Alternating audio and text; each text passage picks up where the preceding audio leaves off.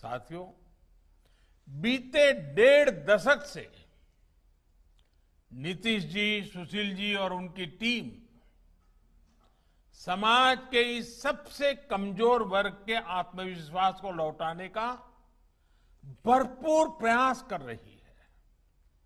विशेष तौर पर जिस प्रकार बेटियों की पढ़ाई लिखाई को पंचायत राज सहित स्थानीय निकाय में वंचित, शोषित समाज के साथियों की भागीदारी को प्राथमिकता दी गई है।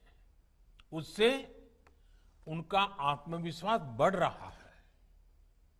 साल 2014 के बाद से तो एक प्रकार से बुनियादी सुविधाओं से जुड़ी योजनाओं का करीब करीब पूरा नियंत्रण ग्राम पंचायत या स्थानीय निकायों को दे दिया गया है। अब योजनाओं की प्लानिंग से लेकर अमलीकरण तक और उनकी देखरेख का काम, उसका जिम्मा अब स्थानीय निकाय, स्थानीय जरूरतों के हिसाब से कर पा रहे हैं।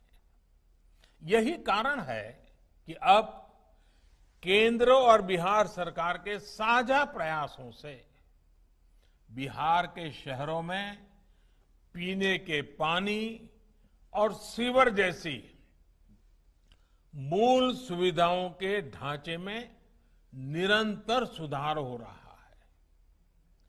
मिशन अमृत और राज्य सरकार की योजनाओं के तहत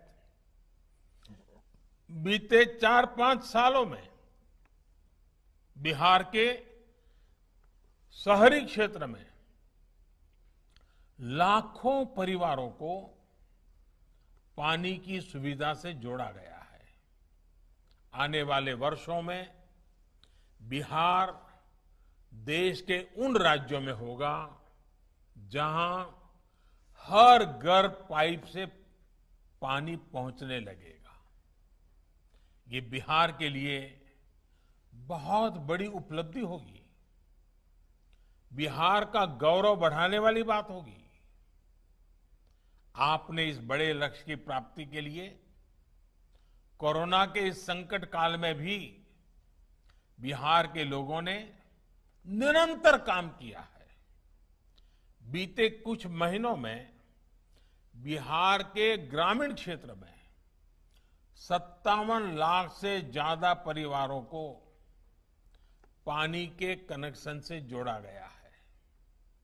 इसमें बहुत बड़ी भूमिका प्रधानमंत्री गरीब कल्याण रोज़गार अभियान ने भी निभाई है।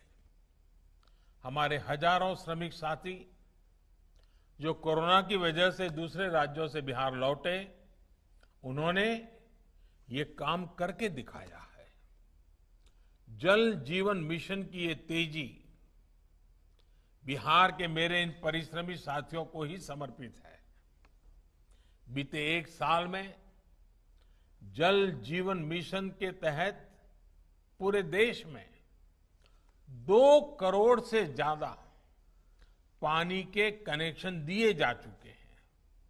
आज देश में हर दिन एक लाख से ज़्यादा घरों को पाइप से पानी के नए कनेक्शन से जोड़ा जा रहा है।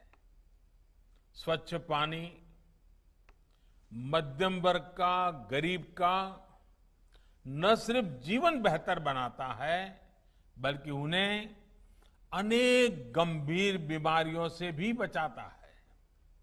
साथियों, शहरी क्षेत्र में भी बिहार के लाखों लोगों को शुद्ध पानी के कनेक्शन से जोड़ने का काम तेज़ी से चल रहा है। पूरे बिहार में अमृत योजना के तहत लगभग 12 लाख परिवारों को शुद्ध पानी के कनेक्शन से जोड़ने का लक्ष्य है। इसमें से करीब 6 लाख परिवारों तक ये सुविधा पहुँच चुकी है। बाकी परिवारों को भी बहुत जल्द, स्वच्छ जल की सुविधा उपलब्ध हो जाएगी।